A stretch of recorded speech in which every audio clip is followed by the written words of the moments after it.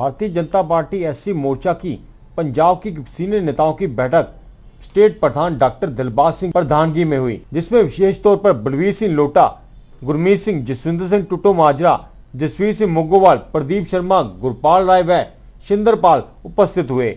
बैठक में आने वाले लोकसभा चुनाव के बारे में विचार विमर्श किया गया, तथा प्रधानमंत्री मोदी को दोबारा देश की सत्ता सौंपने के लिए वह रणनीति बनाई गई।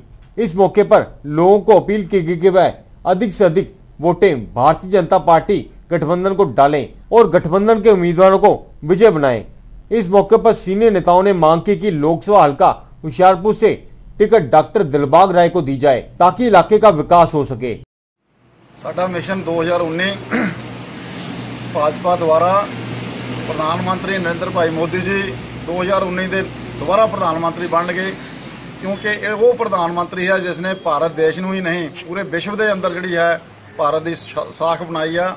ਤੇ ਭਾਰਤ ਵਾਸੀ ਜਿਹੜੇ ਅੱਗੇ ਲੋਕ ਲੋਕ ਘੁੱਟ-ਘੁੱਟ ਕੇ ਰਹਿੰਦੇ ਸੀ ਵਿਦੇਸ਼ਾਂ ਦੇ ਵਿੱਚ, ਹੁਣ ਗਰਭ ਦੇ ਨਾਲ ਸਿਰ ਉੱਚਾ ਕਰਕੇ ਰਹਿੰਦੇ ਆ। ਕਿਉਂਕਿ ਉਹ ਨਰਿੰਦਰ ਭਾਈ ਮੋਦੀ ਜੀ ਨੇ, ਪ੍ਰਧਾਨ ਮੰਤਰੀ ਜਿਨ੍ਹਾਂ ਨੇ ਪਾਕਿਸਤਾਨ ਨੂੰ ਨੱਕ ਨਾਲ ਚਣੇ ਚਵਾਤੇ ਔਰ ਉਹ ਪ੍ਰਧਾਨ ਮੰਤਰੀ, ਜਿਹੜਾ ਡੰਮੀ ਪ੍ਰਧਾਨ ਮੰਤਰੀ ਸੀ, ਜਿਹਦਾ ਰਿਮੋਟ ਕੰਟਰੋਲ ਨਾਲ ਚੱਲਦਾ ਸੀ ਸੋਨੀਆ ਗਾਂਧੀ ਦੇ ਇਸ਼ਾਰੇ ਤੇ ਡਾਕਟਰ ਮਨਮੋਹਨ ਸਿੰਘ। ਹੁਣ ਨਰਿੰਦਰ ਭਾਈ ਮੋਦੀ ਜੀ ਨੇ ਦੱਸ ਦਿੱਤਾ ਕਿ ਐਕਟਿਵ ਪ੍ਰਧਾਨ ਮੰਤਰੀ ਕਿਆ ਹੁੰਦਾ ਹੈ?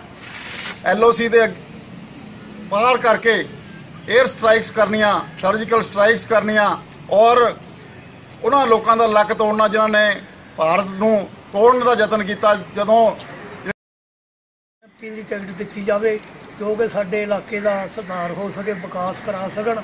ਸਾਡਾ ਬਹੁਤ ਬਹੁਤ ਧੰਨਵਾਦ ਹੋਊਗਾ ਜੀ ਇਹਨਾਂ ਦਾ ਤੇ ਇਹਨਾਂ ਨੂੰ ਟਿਕਟ ਮਿਲਣੀ ਚਾਹੀਦੀ ਆ ਹੁਸ਼ਿਆਰਪੁਰ ਸੀਟ ਤੋਂ। ਜੋ ਪਹਿਲਾਂ ਸੀ, ਉਹਨਾਂ ਨੂੰ ਤਾਂ ਉਸ ਗਿਆ ਹੀ ਅਨਪੜ੍ਹ, ਉਹਨੂੰ ਪਤਾ ਹੀ ਕੁਝ ਨਾ ਸੀ। ਹਾਂਜੀ। ਜਾਗਰਤੀ ਲੈਣ ਕੇ ਲਈ ਹੁਸ਼ਿਆਰਪੁਰ ਸੇ ਦਲਜੀਤ ਅਜਨੋਹਾ ਦੀ ਰਿਪੋਰਟ।